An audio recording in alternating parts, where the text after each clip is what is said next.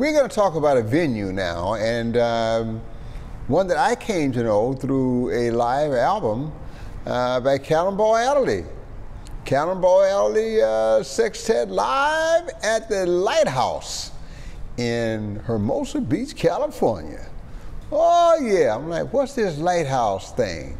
Well, I remember this. The album sounded great. And uh, I just remember that whole lighthouse thing, course, being from Florida. I didn't know a whole lot about lighthouses or what California was like, but I always wanted to go there, and I actually got pretty close a few years ago, that's for sure. Uh, this restaurant it started out as uh, was opened um, in 1949 uh, or so. Stan Levy, I think, opened this thing, and uh, he had this experiment he wanted to try. We're going to do some jazz jam sessions on Sundays, just to kind of, it's a slow time, and we can get these jazz people in here uh, on Sunday afternoon and have a jam session. That became kind of a uh, formula. There's all kind of jam sessions uh, on Sunday afternoon, concerts, jazz, people like that. So he started that to see how it was going to go. But it went really well. And soon there was actually a house band. They want to count on just jam session. They want to have somebody that can make it happen no matter what. And this house band was called the Lighthouse All Stars. And at first they would just bring in guest artists like Chet Baker or Gerry Mulligan, who were on the West Coast already. that's where they were based. And uh, people like Miles Davis would come through and sit in with the uh, Lighthouse All Stars. And uh, eventually it uh, started opening up more nights uh, for jazz. And um, the All Stars continued to play the Sunday uh, jam sessions kind of thing. But then during the weekend, especially weekend nights, Fridays and Saturdays, you had the big boys flying in from all over because the lighthouse is getting famous. And so you got, you know, a lot of guys on the coast, you know, Shorty Rogers and people like that that are coming through there because they live out there. Um, uh, Jimmy Giuffre, you know. Um, Stan Getz is coming through there, you know. Uh, but then East Coast people, like I said, Cannonball Adderley. And at that time, his sextet with Yusef Lateef and uh, Miles Davis. And like I said, the Cannonball album sounded really good. So the room sounded great for acoustic jazz. And a lot of jazz musicians noticed that.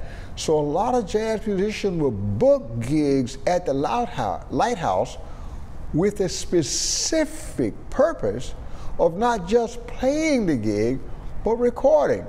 So it's a who's who of recordings. Art Blakey recorded there.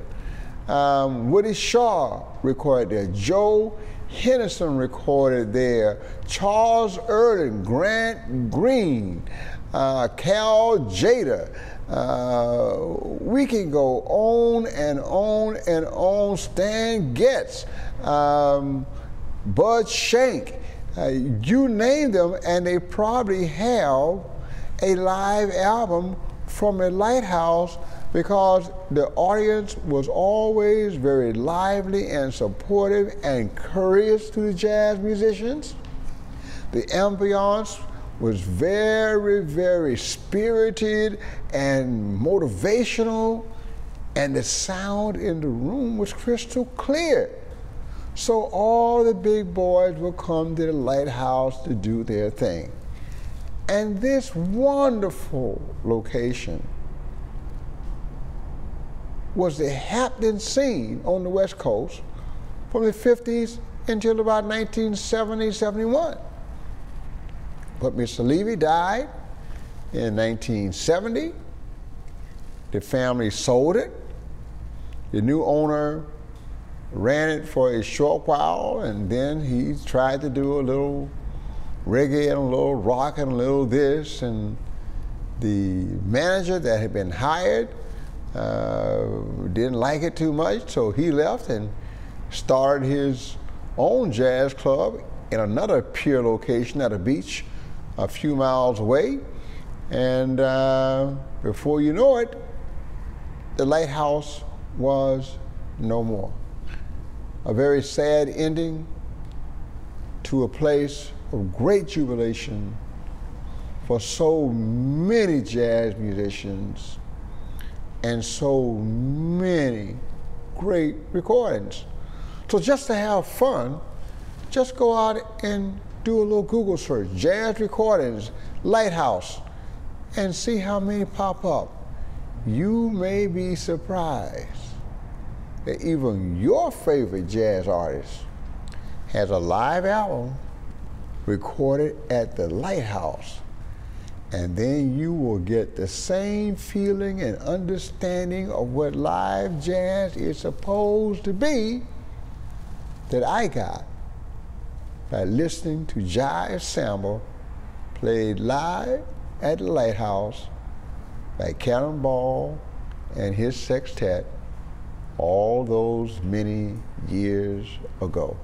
So thank you, Mr. Levy, so for believing in jazz and for giving the West Coast a hot location for jazz performance for over 20 years. The Lighthouse on Hermosa Beach. Thank you.